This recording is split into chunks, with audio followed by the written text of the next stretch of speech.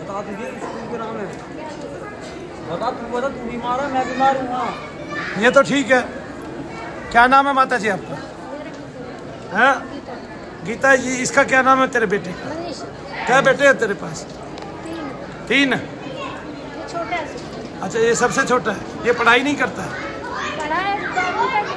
बारहवीं तक।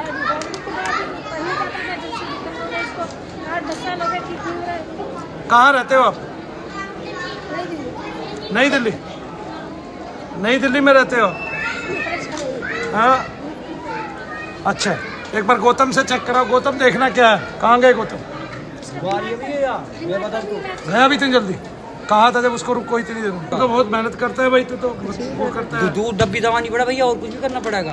अच्छा ये भी बात। कुछ भी नहीं करता। बीमार भी और का उसके बारे में? बीमार बता रहा है तेरे को बोला मेरी मम्मी बीमार है ठीक कर दो। मैं इसके कान में फूक मार के इसके दर्द ठीक कर देता हूँ गुरु है? भैया हाँ प्यासा लगा देख गुरुजी घर का पित्र दिख रहा है। पित्र है जोड़े में प्रेत है। एक हल्का फुल्का कटा हुआ है कहीं से। मतलब आपने इसको नहीं देखा दूसरे ने देखा है। अंकित ने देखा है ना? हाँ उसने क्या बताया था? आपको मेरे को कोई परेशानी ना भैया या वाले पंडित जी सब बीमारी आपने बतावे देखा इस लड़के को पहले? ये नाम ना बता भैया जैसे मंदिर बता मम्मी के मंदिर ऊपर हाजिरी है। ये ये दो नाम बताओ मंदिर में। नहीं हमारा पूरा घर परेशान दिक्कत तो तेरे को है। उनको बता रहा हूँ। है ना? इसे बीमार दिक्कत भैया आवाज़ ना निकली गला से आवाज़ ना निकली। बीमार है भैया दवाई चल रही है इसकी दिमाग की दवाई चल रही है सामान सुमान सब उस लड़के को पूछा है। है? उस लड़के को भूत प्रेत नहीं है गुरुजी आपने नहीं देखा था पहले? नहीं मैंने नहीं देखा लेकिन जब इनकी हाजिरी आ रही थी तब मैं भी देख रहा था इनको। आपकी हाजिरी आ रही थी? हाँ है। मेरे आप कहाँ गए थे ये बताओ आप अब यहाँ से पहले? हम कानपुर भी गए थे हम कानपुर कहाँ गई करौली थी सरकार करौली सरकार। करौली सरकार में फिर तेरा क्या पुजापा चढ़ा के आई पैसों का? नहीं हमने करवाया था नौ हवन करवाया नो हवन फ्री के थे?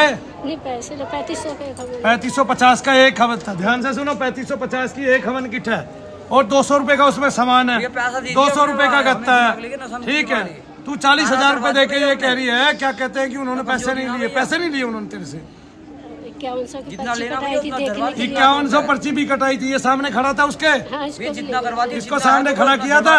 क्या बोले ये ठीक हो गया? नहीं कह रहा ठीक हो जाएगा। भैया। कैसे ठीक हो जाएगा? कह रहे लगेगा साल डेढ़ साल वो दवाई दिए थे सिर में लगाने की लेपन का?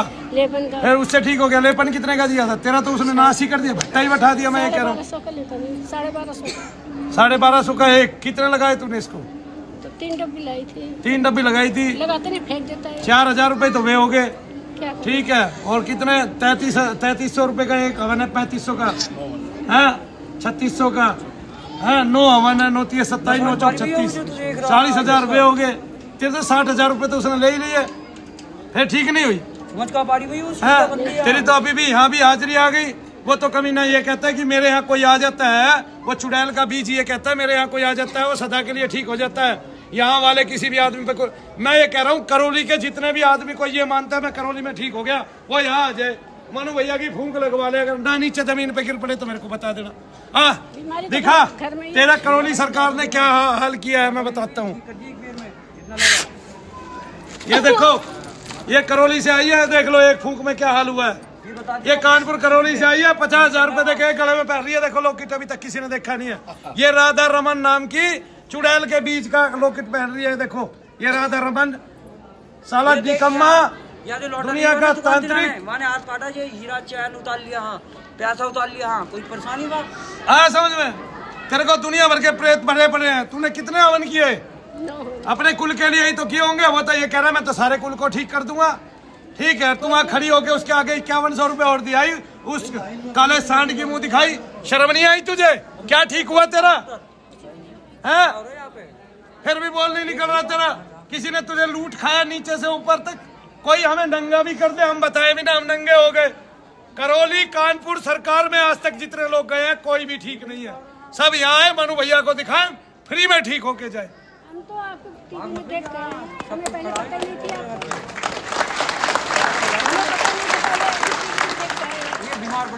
टीवी में तो मैं पहले भी था। उस सांड से पहले का चैनल चल रहा है हमारा।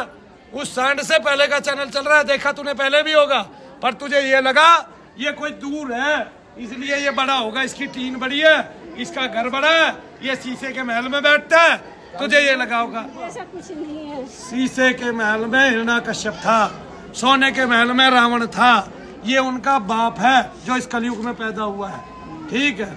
आगे ना? ये बीज है कोई?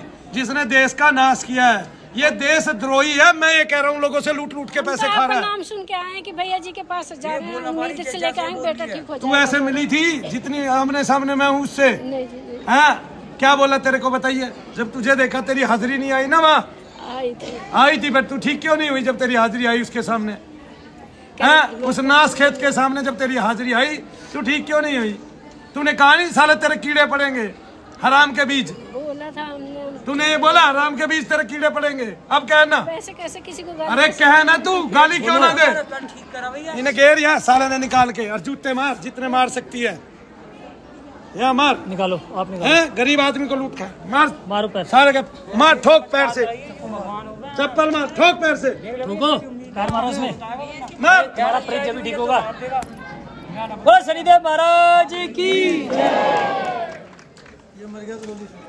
ये मर गया करौली सरकार। ईट लेके आई थी घर।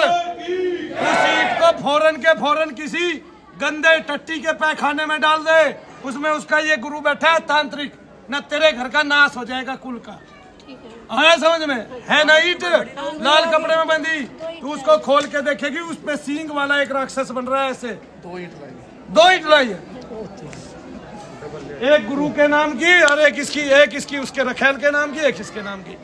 साल टट्टी वाले ट्रैप खाने में डाल दिए ताकि उसकी बुरी वो भी ना आए स्मेल भी ना आए।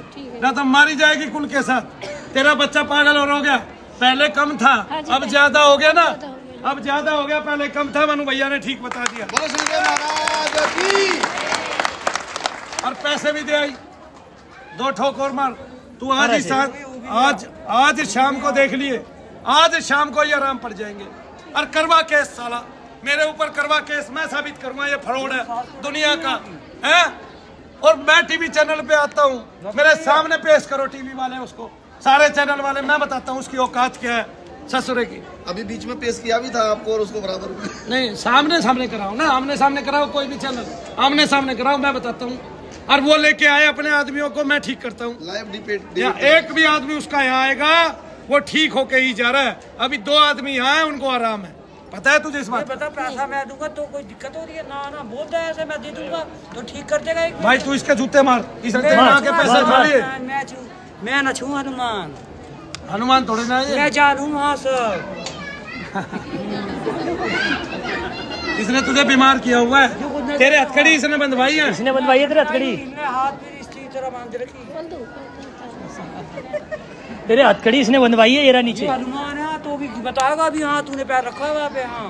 कहाँ है हनुमान? पता है आश्रम हाँ। ये तेरी माँ ने मारे इसके जूते। ना मैं पहले बता दी भैया गलती करने से पहले ये छोड़ेगा ना तो जब तक। भाई तू पानी पी ले। पानी पी ले पानी। तो भैया यूँ तो हाँ यूँ हनुमान है भैया धीरे धीरे सब फालतू हाँ।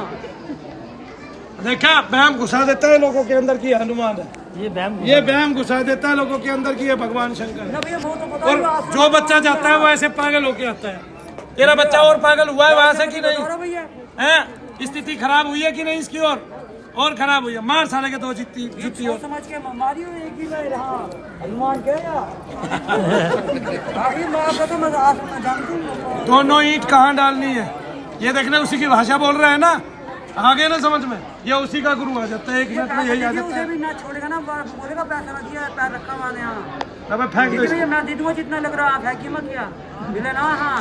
मागनी कुट में डाल रहे एक मिनट में चल के भस्म हो जाएगा हमारी चलाइए मत हाँ तो तो बोलो शनिदेव। राज की। सच्चे। दरबार की सबसे अच्छे। शनि। शनि। हाँ शनि हाँ। चलो। चल भैया माइक पे पैसा दे देंगे और कुछ बात ना मैं कमाऊँ हाँ आम है दूध की डेयरी से। तू लड़के को जानती नहीं है। ना बेटे। आसन नंबर चार। हाँ भैया। याद है इसको वहाँ का नंबर आसन नंबर। पैसा से। हाँ पैसा से जब ही मिलेगा हाँ। चौथे नंबर आसन चल भैया चल इलाज करा छूने दिया बोले वहाँ जूते मारने। केला ले ले हाँ जो बंदर खिलाना न छोड़ेगा ना हाँ। होगी।